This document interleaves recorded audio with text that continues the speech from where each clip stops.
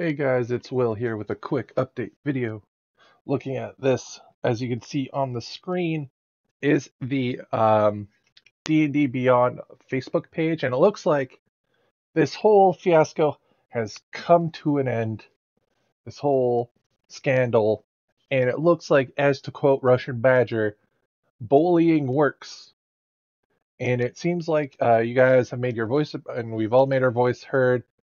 And Dean uh, Wizards of the Coast and Has Hasbro most likely has come to the conclusion that maybe don't fuck with it if it's if it's uh, doesn't need to be fixed is a good idea.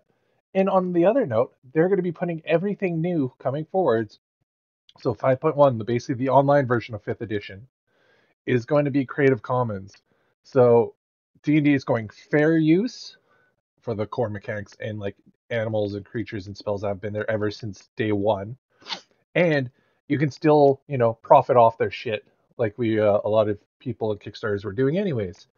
So that's really it. There's not much else to say. Um it looks like when you listen to your group your people when you try to do something shady and it's uh and you have people that are passionate about it you're gonna get caught.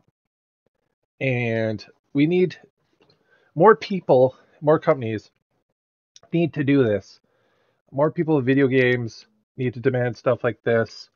People who, you know, are into other groups and things or hobbies. We need this sort of attitude to get what we need. And or people where I live, you know, the whole internet thing that's going on, you know, push that. We can have this happen. Other laws and things in your local town, you know, it's worth it. Put voicing your opinion out there to a cause that you believe in with others is worth it and this is why you should do things like vote and you know get angry get voice your opinions take a second to think and then tell the people who can actually do something about it what you think about it.